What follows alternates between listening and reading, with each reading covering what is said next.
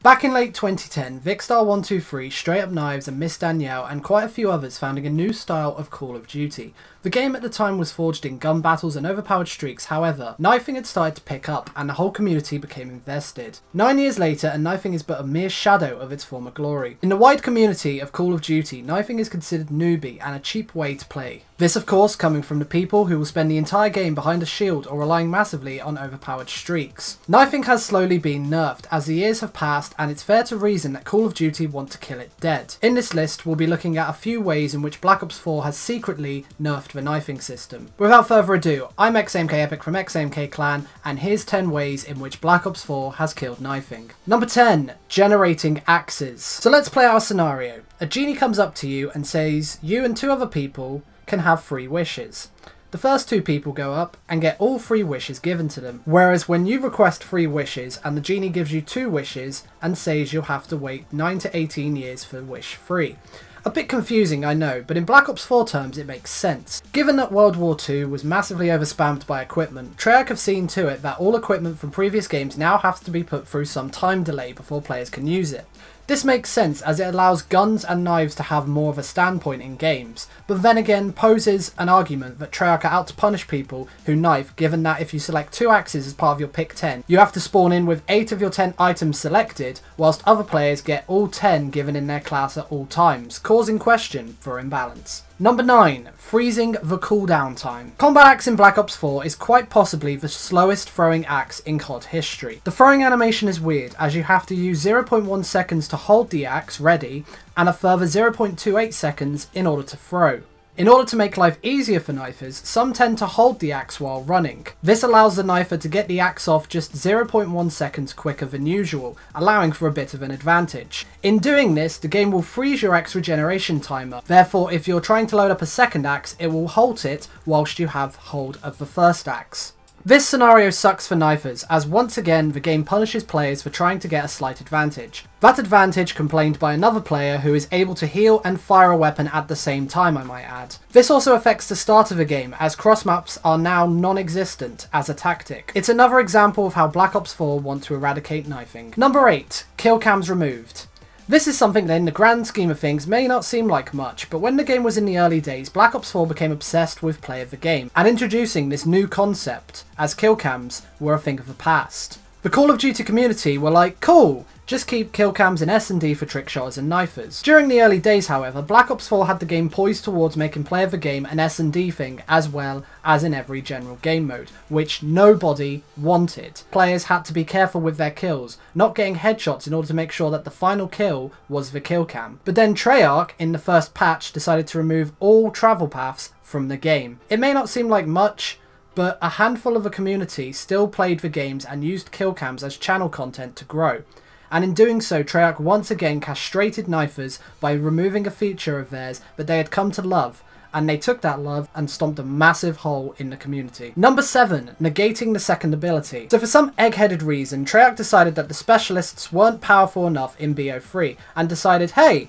let's have both abilities available to the players. Therefore, Treyarch have seen to it that players cannot equip an axe and a stun grenade at the same time anymore, given that they both fall into the same button placement. This could mainly be due to the healing system, but still, it shows that even though a Titan can have extended mags, FMJ, and a ground shaking operator mod while standing behind an assault shield with a trophy system on the floor, stuns and axes are too overpowered to coexist together for one player. Number 6. Streaks. Going back on a nostalgia trip, if a player was to throw an axe at a streak in previous Call of Duties, the axe would bounce off the streak, causing the axe to drop back down and be collected by the player, regardless of explosions. In Black Ops 4 though, throwing an axe at a streak will make the axe disappear once exploded, causing an RCXD card to still get the kill from the explosion even if you get the RCXD before the player presses the explode button.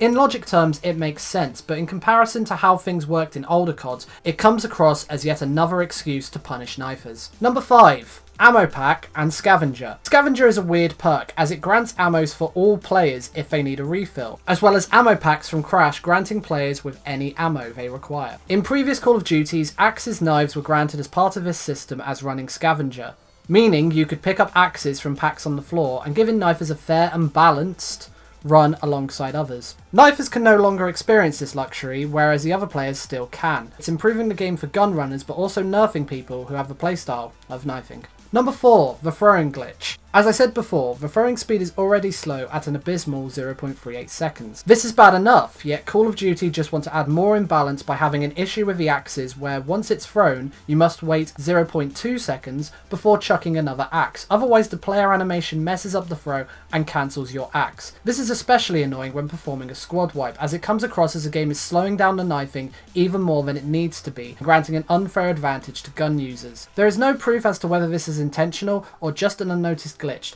but again causes stress to a knifing gameplay, especially when an enemy's gun never jams. Number 3. The Gun Melee. Pause the video now and watch Tyger's everything wrong with the knifing operator mods in Call of Duty. The long of the short is that meleeing someone with a gun is 145 damage out of 150 and that just shooting one or two bullets first and gun bashing is far, far quicker and more effective than knifing with an operator mod that requires 3 of your pick 10. With this tactic in mind, knifing is almost not required and this system has a more effective means of killing players. Also, the original melee is that inconsistent that players can melee you with their weapon and melee you again in the time it takes from you to recover from one knife attempt. Just throwing the whole balanced theory out the window. Number 2. Fog of War and Acoustic Sensor. These two can get in the bin, possibly the worst two things in Black Ops 4 at the moment, regarding specialists. Fog of War is a player personalised radar that has no counter effect other than counter UAV, that allows every teammate to see where enemies are located via red dot on the minimap, rather than, I don't know, using their eyes Acoustic Sensor is a buffed version of Sixth Sense from Black Ops 3, where any noise or movement nearby is highlighted with a red sensor that alerts enemies players are trying to flank. Couple this with a sensor dart or squad link where players can see a 360 circle around their teammates, and this is majorly overpowered, given that knifers are usually used to flanking and getting behind enemy lines. This really badly nerfs the knifers as players now know within a 5 second gap that someone is trying to flank them and the game offers no concrete hiding perks for knifers. Sure you've got Dead Silence and Ghost but they don't 100% cover players on the flank. Also throwing a combat axe might as well be popping a bag of crisps or exploding a grenade, as the noise is so loud that once one axe is thrown, the enemies are alerted via acoustic sensor and are already 12 foot in the air shooting their wildfire Spitfire guns another operator mod that complements a shooting gun, and the opportunity of a balanced kill is once again overpowered by leniency to gun players. And number one, no ballistic knife. Through fan favoritism, in Black Ops 2, the ballistic knife became a vital part of a knifer's setup. Not only being able to knife players, but also shoot projectile knives at other players became such a fan favourite that players were screaming for it in Black Ops 3 but Treyarch waited until halfway through the next Call of Duty to involve it in some way of getting players to go back to BO3. Given that Black Ops 4 and the operator mod attachment system, Treyarch have once again missed the bullet, no pun intended, by not adding the ballistic knife. Keeping the weapon out, even though it would work well as an operator mod for the combat knife, is a possibility to rejuvenate the game for knifers and offer an alternative playstyle to knifing and encourage players to charge ahead onto enemies. But keeping this gem out of Black Ops 4 and all other reasons stated in this video just shows how Black Ops 4 has given up on knifing and are constantly against us. And that's the top 10. Did I leave anything out? Please let me know your thoughts on the Black Ops 4 knifing system and what you would change, add in, take out of the game, and subscribe down below if you're new. Thank you for watching. I've been XAMK Epic. Stay epic, guys.